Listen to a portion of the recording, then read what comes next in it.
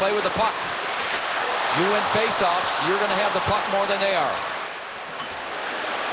Here comes Eller with a drive with a save by Vasilevskiy. Then he, it bounces in. It bounced off his glove into the net. 6-2 Montreal.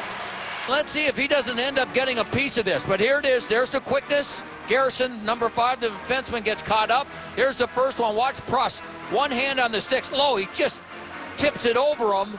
And Vasilevskiy might have gotten a piece of it. What a goal by Brandon Prust. Protecting himself as Garrison came back. And Prust with one hand on his stick is able to get this piece. Just tips it off the glove and into the net.